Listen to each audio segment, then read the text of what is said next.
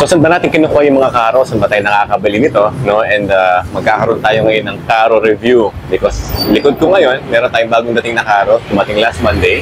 And uh, I'm pretty satisfied with the way it was done. So, tingnan natin.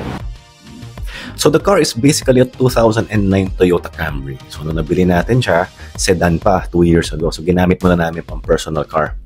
No? So napakaganda ng kanyang design. So tingnan natin yung interior niya. So ito yung mga karo na wala ng cortina sa loob. No? UK yung style niya. No, ang ganda ng pagkaka-upholster, uh, may lalagyan na ng urn, no, may mga ilaw siya sa ceiling. Ang ganda ng design niya.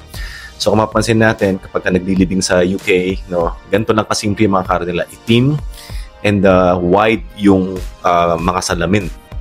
Kitang-kita yung kabaong sa loob.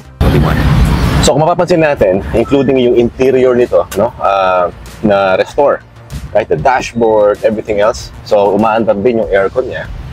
At uh, kung driver ka, no, magandang maglibing kasi automatic. Automatic plus may aircon. Noong unang panahon, walang aircon and manual transmission. But I'm very satisfied with the way this particular car was built. And uh, maganda no, yung kanyang uh, interior.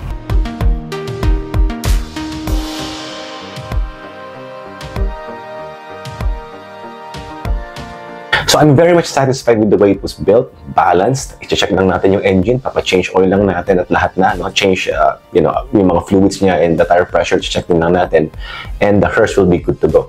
Uh, marami po tayong mga original hearses na ini-import dyan and sobrang mahal, millions, no? But again, um, shout out to Mr. NR Pagkil. Sobrang ganda ng gawa mo, sir. Uh, yung mga ta- tagagawa natin from Santo Tomas, San Simon, and San Matias, Pampanga. Saludo po kami sa inyo.